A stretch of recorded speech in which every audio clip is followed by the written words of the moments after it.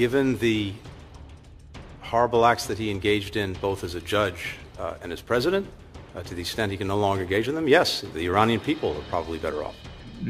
Если у коллег есть необходимость, то мы готовы сделать все, чтобы оказать им экспертную поддержку, экспертную помощь в выявлении истинных причин этой катастрофы.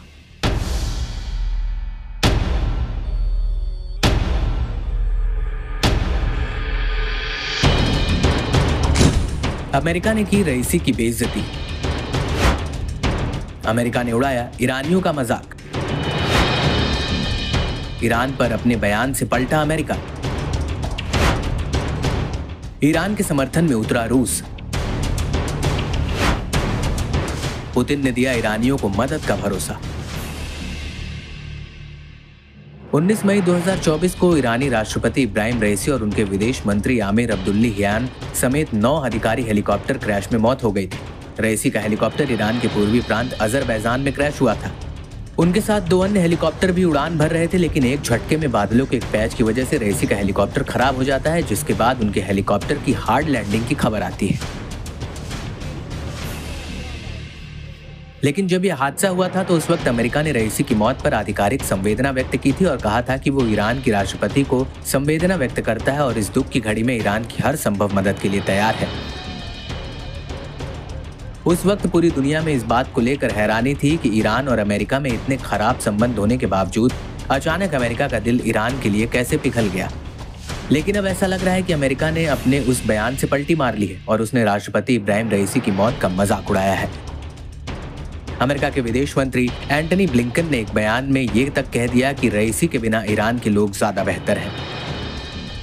दरअसल अमेरिकी विदेश मंत्रालय के पिछले बयान को लेकर अमेरिकी संसद की विदेश संबंधी समिति के सामने एंटनी ब्लिंकन पेश हुए थे, और इस समिति के सामने ईरान पर दिए गए बयान को लेकर एंटनी को अपनी सफ़ाई पेश करनी थी, लेकिन इस समिति ने एंटनी को जमकर रगड़ा। समिति के सांसद टेड क्रूज ने ब्लिंकन को घेर लिया।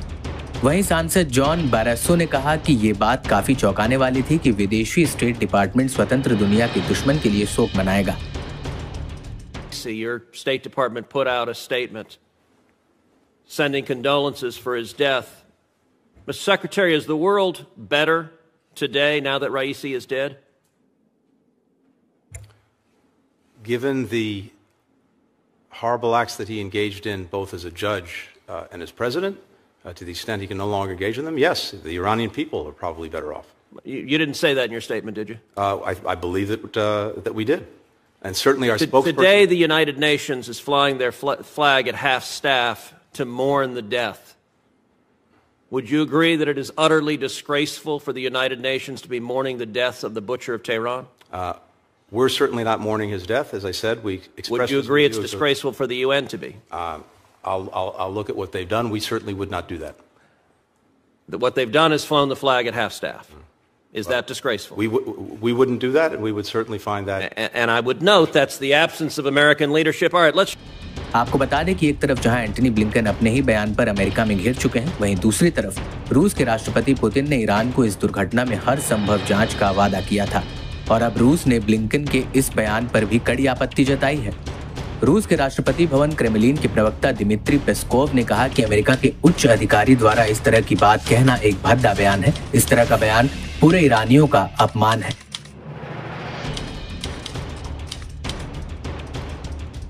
वहीं दूसरी तरफ़, अपने पिछले बयान का बचाव करते हुए अमेरिकी विदेश मंत्री एंटनी ब्लिंकन ने कहा है कि हमने उन मामलों में भी संवेदना व्यक्त की है। जब किसी देश, चाहे वो विरोधी है या दुश्मन है या नहीं, उन मामलों में हमने संवेदना व्यक्त की है। इस तथ्य में कोई बदलाव नहीं है कि रईसी ने कई सालों तक अपने ही लोगों का दमन करने के साथ निंदनीय आचरण में वो लगे हुए थे।